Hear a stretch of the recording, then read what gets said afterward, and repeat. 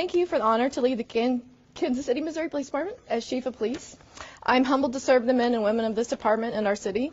I'm confident in my ability in continuing to advance the Kansas City, Missouri Police Department as a progressive law enforcement agency and trusted community partner.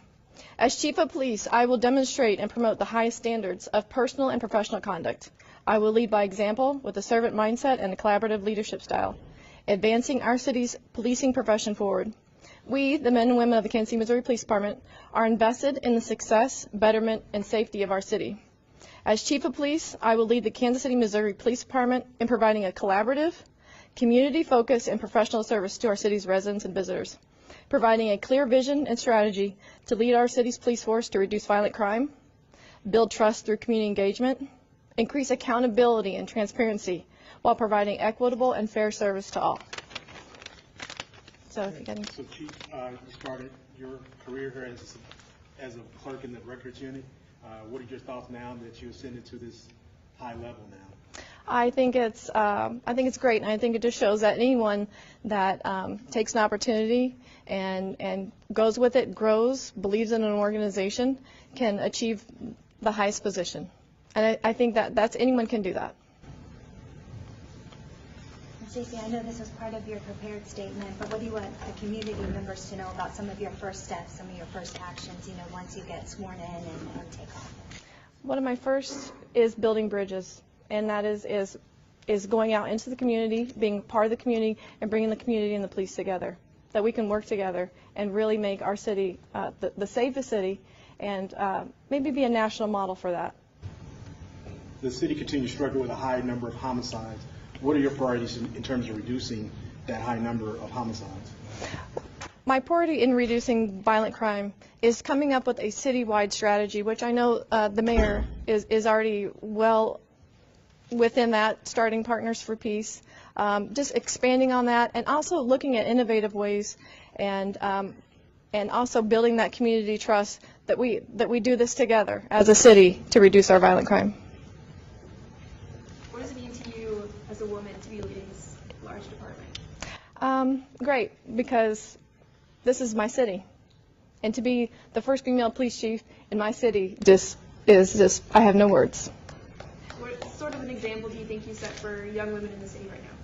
Well, um, just when we did the, um, the shopping with, with kiddos, even at Target this past Wednesday, um, there were there were girls that I passed by when I'm shopping with the kiddo, and I there were girls that I passed by that, that I saw them stop and whisper and, and point to me. So I hope that um, I can be a model to, to them and, and live up to that. Susie, you inherit a department that is under a DOJ investigation.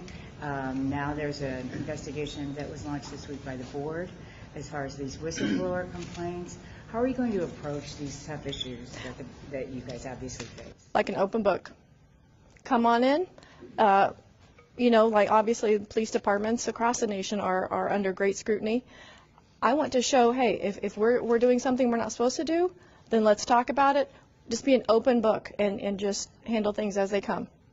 I, I can't say that enough, just being an open book and, and, and dealing with things head on. I will be that front facing communicator that this city wants and needs. And if, if there's something that, that we're doing wrong, then the motto, mess up, fess up, move on. And, and move on isn't forget about it. It's learn from it and move forward in a better way. Got it. Ms. Dean and, and Mayor and Don, and what were, what were, uh, Mr. Wagner, what were some of the things that stood out to you about Stacey's application that made, made you decide that this is the person who's going to lead this department? You know, Glenn, why don't we do it this way? Uh, We'll finish all the questions to the Okay. chief, We and have then if with there, mics. and if there are additional questions, we'll go from there. So, any other questions for the chief? Stacey, what do you think pushed you to the top of- from the other candidates? Is there any one thing? Uh, hometown, maybe. Um, I know the community. The community knows me. Um, the community knows that I, I, feel like I, I portray my, my heart.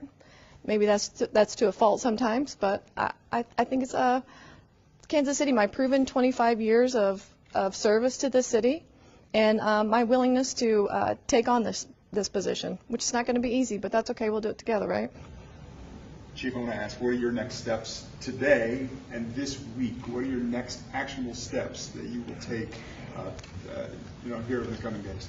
I got to call my mom My mom's going to be very upset that I didn't talk to her first. I was rushed. I, I didn't know it was coming out this quick, but um, call my mom and then just just starting starting talking to the community. Like that. That's that's where I'm going to start, and obviously um, the board and the mayor, and and really. Um, forge those relationships even with our city council, with our, our community.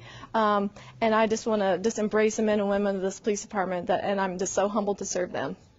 What's your mom's name, and does she still live in KCK? No, she is, uh, just a year ago, she moved down to Florida. And her, her name? Uh, I'd rather, Does she want her name? not yet. Uh, mom, okay. Stacey's mom. Have you told your husband yet? Uh, yes. He met me at the door. He's been my biggest cheerleader. How will you deal with that as far as your husband is a a part of the, you know, administration here?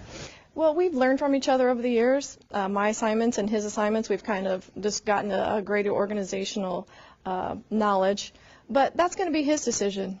Uh, there, there, he may. We, we've discussed this. I'm not going to act like we haven't, but um, that's going to be his decision if he continues here and continues to serve, or if he wants to um, stay home and make sure I have dinner when I go.